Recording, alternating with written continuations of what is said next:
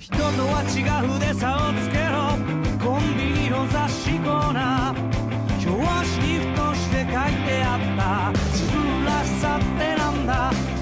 子供の頃は気にもせず。気に入らなければ怒って。好きなものを好きだと言って。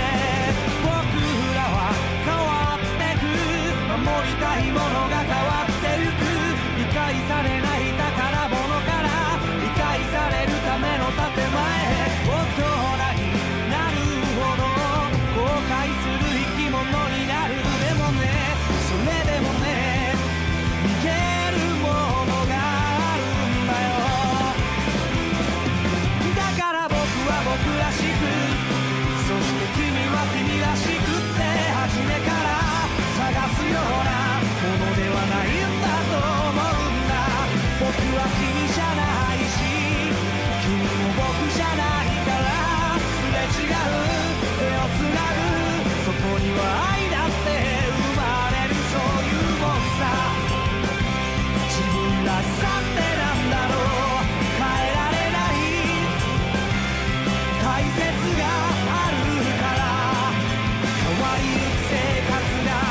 優しい。